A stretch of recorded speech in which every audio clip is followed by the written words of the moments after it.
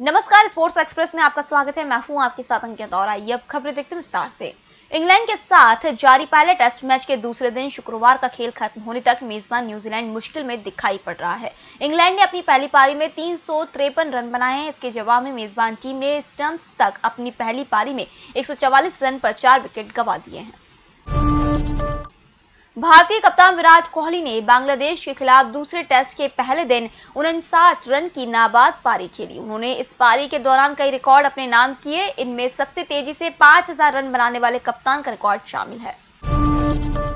Mumbai police द्वारा 6 दिसंबर को West Indies के खिलाफ पहले इंटरनेशनल टी मैच के लिए सुरक्षा व्यवस्था मुहैया करा पाने में असमर्थता जताने के बाद भारतीय क्रिकेट कंट्रोल बोर्ड ने इस टी सीरीज़ के कार्यक्रम में बदलाव किया है। अब हैदराबाद पहले टी मैच की मेजबानी करेगी, जबकि मुंबई में तीसरा टी मैच होगा।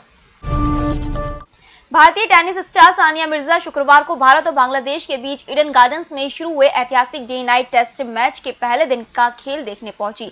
सानिया ने कहा कि इसका चश्मदीद गवाह बनना शानदार है। एक प्रशंसक के तौर पर यह काफ़ी मायने रखता है। फ़िलहाल इस बुलेटिन में इतना ही। आप बने रहिए ईएमएस टीवी के साथ। नमस्कार।